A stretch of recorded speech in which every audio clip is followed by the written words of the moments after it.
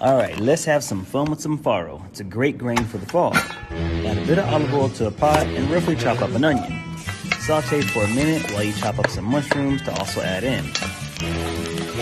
Dice fresh garlic and cook everything together. Now, dump in the farro and stir. Then add a bit of the thick bland seasoning or dried herbs and sea salt and pepper.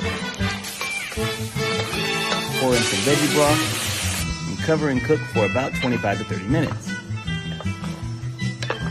I add canned white beans to boost the protein and make it creamy, parsley for flavor and color, and nutritional yeast to make it cheesy. Cheesy with a Z.